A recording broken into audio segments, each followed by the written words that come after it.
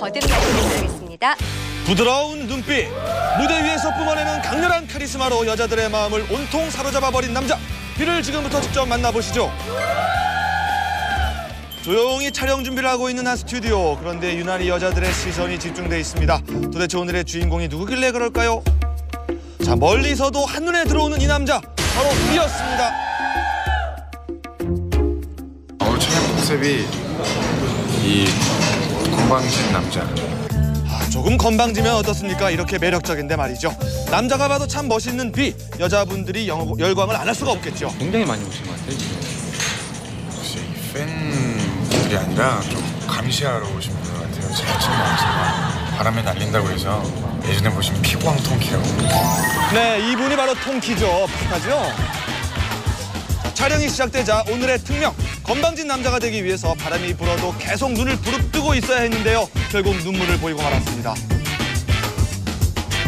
자, 건방진 남자가 되기에는 너무나 겸손하고 반듯한 청년 비를 제가 직접 만나봤습니다. 안녕하세요. 네, 안녕하세요. 아유, 반갑습니다. 네 반갑습니다. 사실 제가 오늘 링게를 맡고 있었어요. 예. 비를 보는 순간에 몸의 그 상태가 확 좋아지면서 네. 오길 잘했다. 좋으신 것 같은데. 태국과 일본을 다녀왔습니다. 네. 소감이 어땠어요?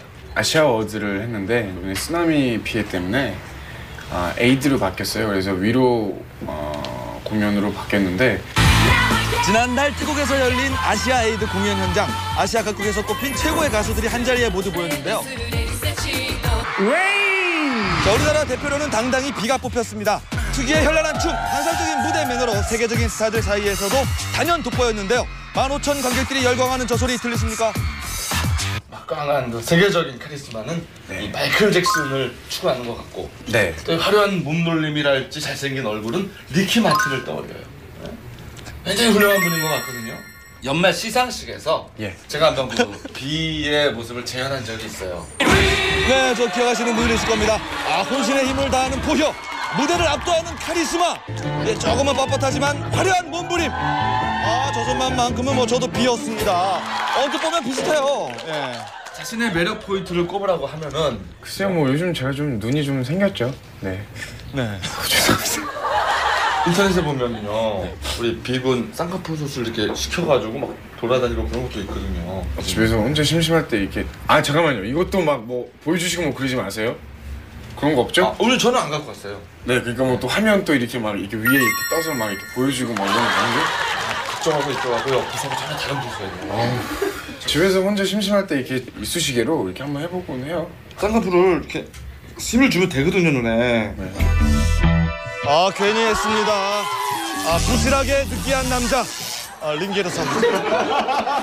모델하면 굉장히 좀 그 어리고 부드럽고 네. 그런 분들이 많이 차지를 하고 있었는데 이제 뭐 때가 바뀐 거죠. 생기랑 만 스타일이 이제 각광받는 세대 시기인 것 같아요. 아, 겸손하십니다. 자, 미소년 같은 얼굴에 남자의 카리스마가 절묘하게 묻어나오는 비. 가수로 또 연기자로 앞으로의 활동 더욱 기대가 됩니다. 시원 가족 여러분들 늘 건강하시고요. 음, 그리고 늘 행복하십시오. 그리고 저피 많이 사랑해 주시기 바랍니다. 감사합니다.